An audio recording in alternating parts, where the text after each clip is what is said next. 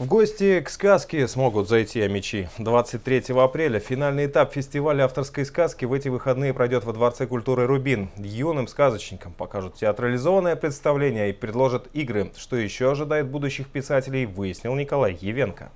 В свои семь Артем не только первоклассник, но и настоящий сказочник. Сейчас он репетирует только перед родителями. Но уже в воскресенье послушать историю про мальчика Линкольна придет целый зал. Автор не раскрывает детали сюжета. Известно лишь, что главный герой по имени Линкольн получает школьное задание – отыскать невидимое. Он думал, что ему всегда мешают сестры.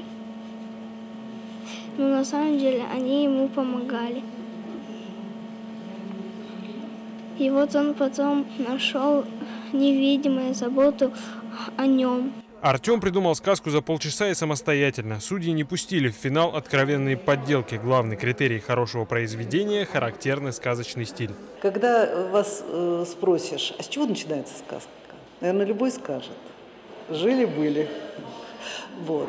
А, и вот такие нюансы, которые делают сочинение сказкой – их, конечно, мы оцениваем. Фестиваль авторской сказки проводится пятый год подряд. Создатель конкурса «Учитель истории» Дмитрий Васюхичев считает, в современном мире важно знать не только старую культуру, но и вмещать в произведение собственную реальность и быт. Это даст жанру сказки новый виток развития.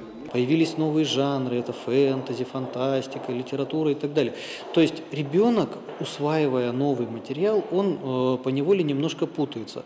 А что здесь является э, частью его культуры, а что является заимствованиями? Результатом каждого конкурса становятся вот такие сборники. В этом году сказки победителей озвучат актеры омских театров. Появилась номинация «Видеосказка». Участников было так много, что фестиваль решили провести во Дворце культуры «Рубин». Мы решили это более празднично сделать, порадовать а, город, поэтому делаем все в ДК «Рубин» а, с э, интерактивом, играми перед началом, с праздничной программой, с театрализованным представлением.